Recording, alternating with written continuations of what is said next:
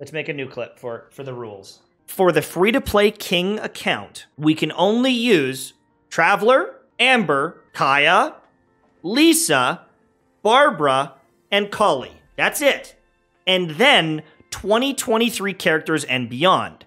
So the first banner we can wish on is Alhaitham. If we get Yao Yao, we can use her. We cannot use any of the good four stars. Fischl, Xiangling, Xing Cho, they're all off limits.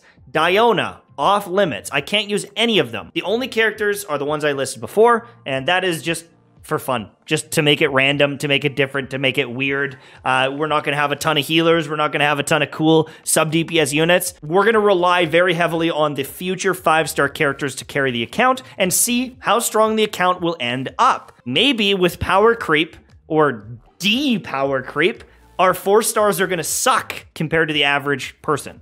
Maybe our five stars are going to be insane. I don't really know, but I want to just see what happens. That's going to be the the whole journey. That's that's the whole reason we're making this account. I don't care how fast I beat the Spiral Abyss, but I am curious when will we be able to beat the Spiral Abyss with Dehya, Alhaitham, these different characters? When will we be able to do it and get 36 stars? I don't know. No, Layla. I just listed the characters.